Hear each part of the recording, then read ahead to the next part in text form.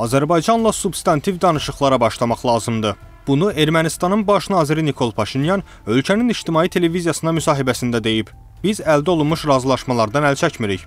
Yaxın günlərdə Xarici İşlər Nazirimiz Azərbaycanın Xarici İşlər Naziri ilə görüş keçirəcək. Əvvəllər qeyd etdiyimiz kimi, sazişin mətninin hazırlanması üzrə danışıqlara başlanılmalıdır. Əslində bu gün danışıqlar masasında heç bir sənəd yoxdur. Müəyyən bir mətnin olması arzu olunandır. Bu olsa, demək ki, iş irəliləyib deyə Paşinyan əlavə edib.